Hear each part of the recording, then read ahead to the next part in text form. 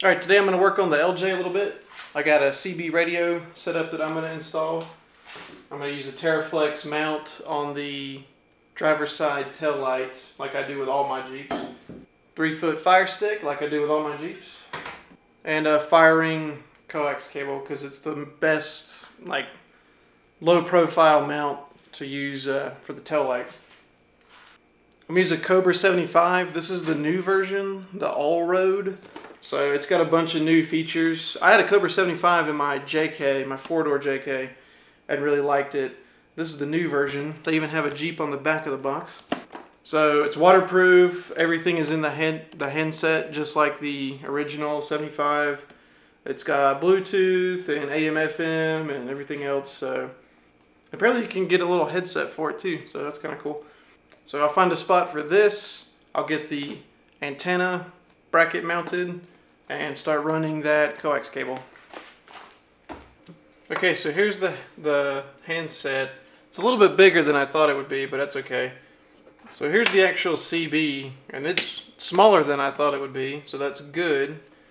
The power connector is cool. It's got a quick disconnect and an inline fuse, so that's good. Uh, kit to mount everything. And then I didn't I actually didn't know this when I ordered it. So this handset is a USB plug. And on the front of the uh, the black box, the CB portion, there's a little knob right here. You turn the knob and you can take it off, and there's a CB or a USB port right there on the front of it. So that's cool, but you don't have to use that. You can plug this directly into your car's USB port, or you can use the adapter that they give you and plug it into your 12 volt outlet like that and not have it plugged directly into the black box at all.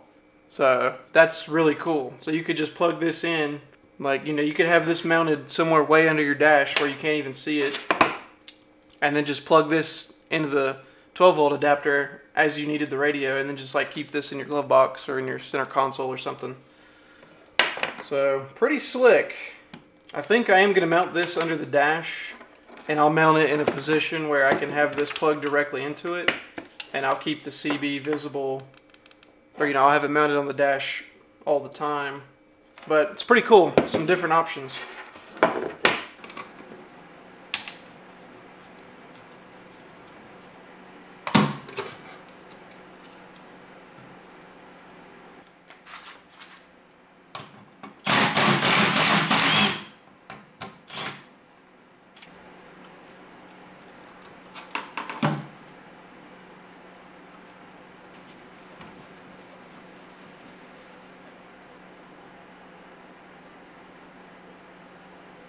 Alright, so I'm going to run my antenna cable into this hole under the tail light. If you come down here under the Jeep behind the rear tire, pull this plastic piece out of the way.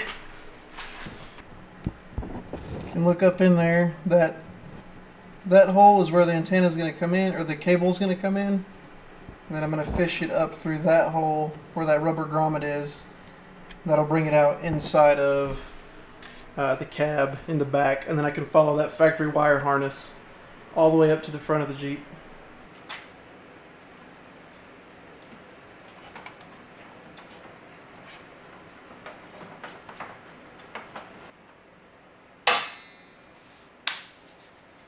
This mount from Teraflex already has the paint ground off on one of the bolt holes up here and on the bottom of the antenna mounts. So this will be grounded no problem.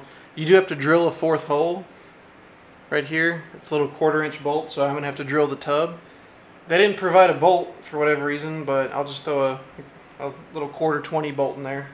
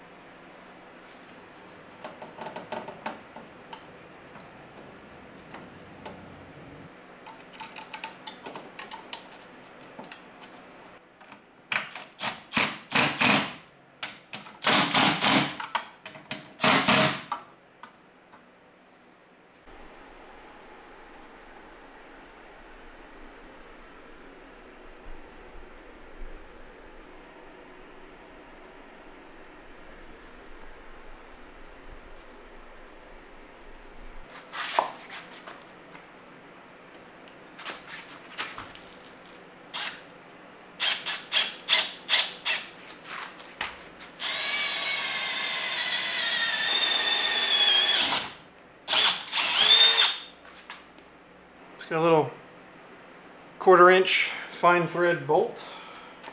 It's an inch long. I hope that's long enough. Should be.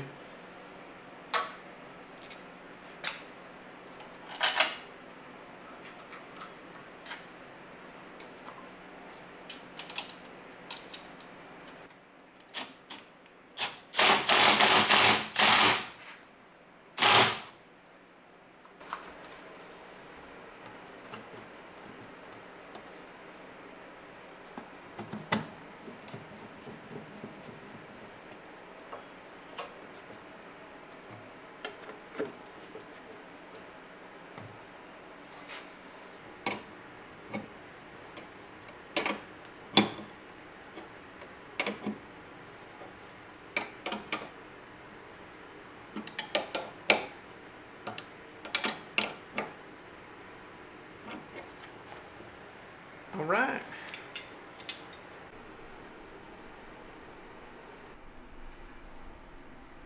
There's the bolt that I drilled. And then there's the grommet where I'm going to run that coax up from the bottom of the Jeep. Alright, so I used a razor blade and cut a slit in that grommet. And I'm going to shove a uh, coat hanger through the slit. Just like that. So there's the coat hanger coming out of the grommet. It's coming down. And then I'm just gonna tape my coax to it right here and then pull it back out.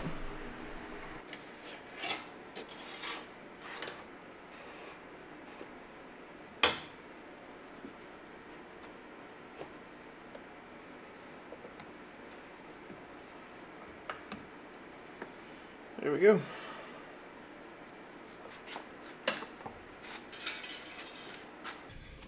Okay, here's what I'm thinking. So there's a ton of room up under the dashboard on the driver's side. I think I'm just going to zip tie this up in there. Um, it doesn't weigh that much. It's just kind of bulky. It's a lot bigger than the original 75 uh, transmitter box. And then I think I'll have the handset connected to it directly like this. And I'll run it around here like this. And I'll hang it on this side of the dash like that. So it'll be out of the way. I don't. I thought about putting it over here, but it's kind of since it's so bulky, it's kind of like in the way of me putting the keys in the ignition. And I don't want it right here because then it's kind of from the driver's perspective, it's kind of in the way of the gauge, or it's kind of in the way of the controls from the driver's side. But over here, it doesn't block anything from from my side, and the cable will be you know, it'll be going straight under the dash like that, so it won't actually get in the way of anything. So I think that's what I'm going to do. I'm going to drill two holes in the center portion right here for the little hanger and put this right here.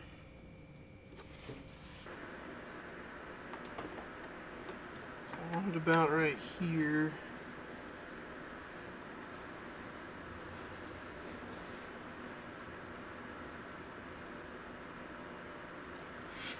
Alright, here we go. Got to ruin my dashboard.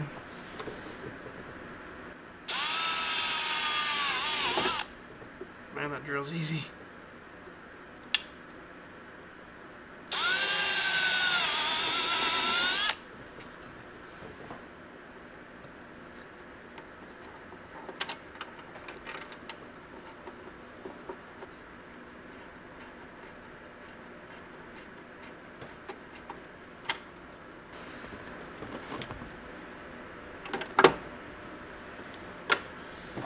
Alright, we're going back now. Actually gonna try to bend that up a little. There we go. I like it.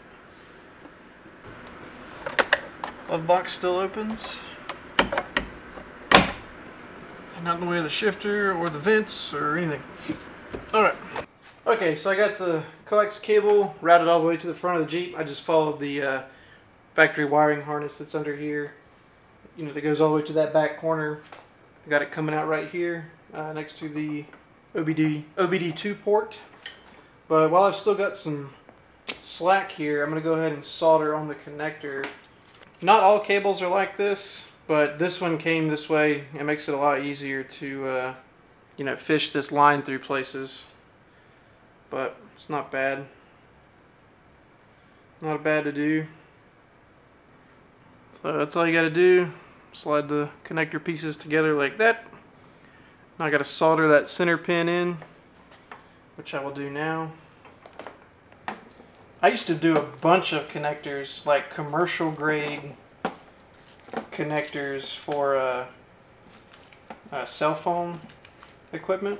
I've probably done, geez, I don't even know, thousands of solder connectors like this. But you know, like carrier grade ones, ones that are a lot bigger. But it's been a long time since I was a field tech, so hopefully they don't screw this up. So it's been a while. I only have this crappy soldering iron.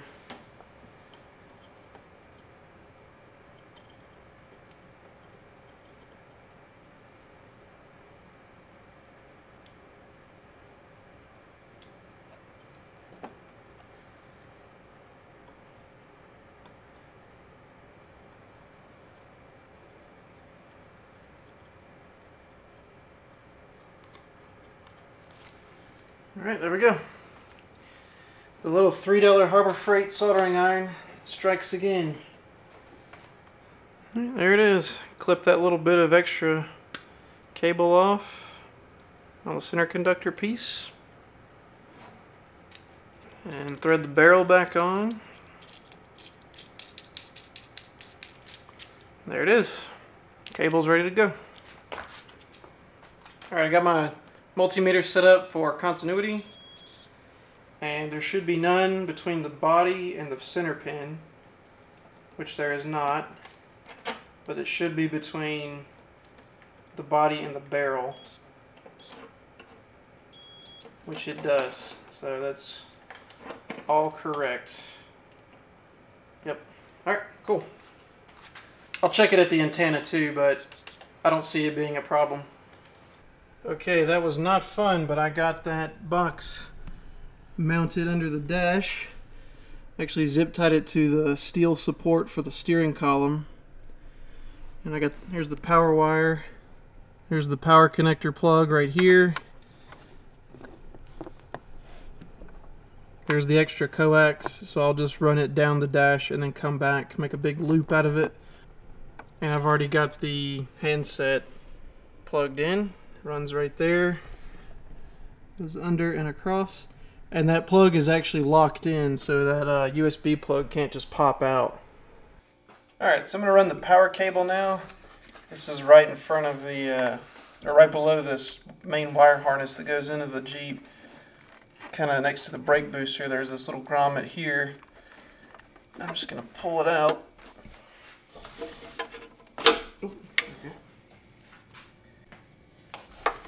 Alright, got my power wire shoved through it.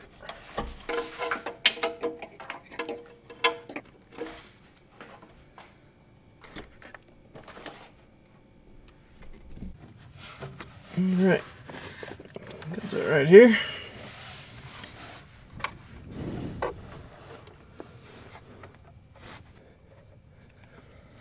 Okay, I'll zip tie that up out of the way.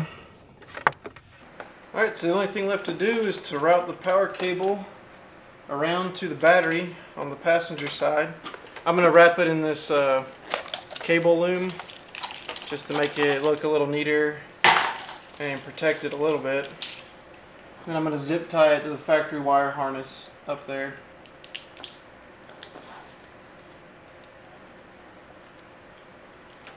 Alright, so got my power wires ran all the way over here to the battery and they're zip tied really nice.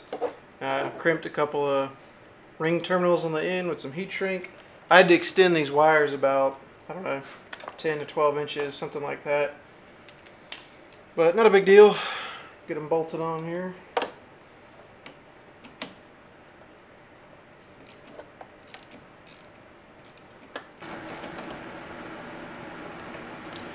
Okay, that is hooked up. Go see if it works. Alright, here we go.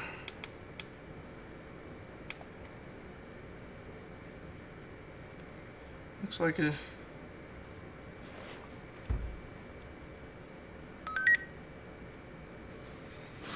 There it is.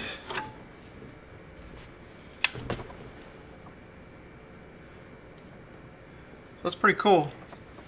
I'll have to figure out how to use this thing and then maybe I'll do like a review of it too, but CBWX, volume, squelch, AMFM. Huh.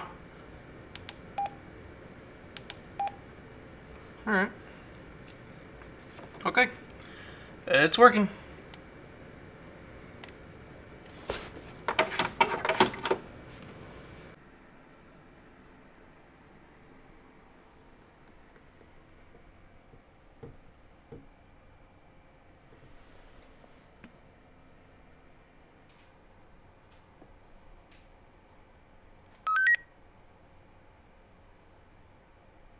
All right, that's it. Uh, that's the only comms I'm going to do for this Jeep. I do have a, uh, a handheld ham radio that I'll probably leave in the glove box, but that'll just be for emergencies.